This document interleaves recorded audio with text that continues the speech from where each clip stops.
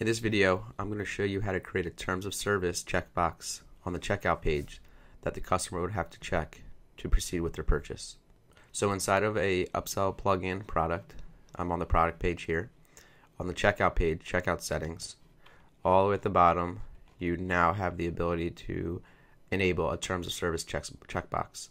So by default, it'll be on no, which will show the text box. And if you want to hide it, you can simply say yes, meaning they don't need to check off a terms of service to proceed with the purchase. So if we have it set to show, what you have is down here a what you see is what you get editor.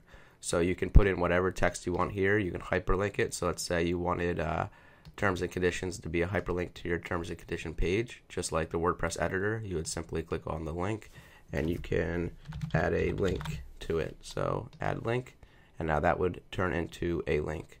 So if we updated this, if we save this, if I go ahead and grab the URL, the purchase URL, I'm going to paste it into a window so you can see. So now at the bottom here you have this checkbox that says I have I have read and agreed to the website's terms and conditions. So they would have to check this off to proceed with the payment. And as we made this the hyperlink, and again, this can be whatever you want, as much text as you want, as little text as you want.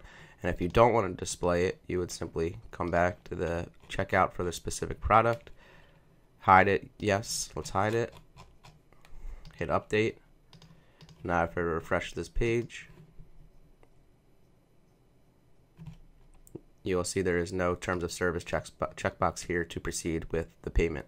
So if there is a checkbox, they have to. It's it's a required field. There's no way to not check it off to proceed. And then the nice additional feature is if you go into the orders section of the upsell plugin,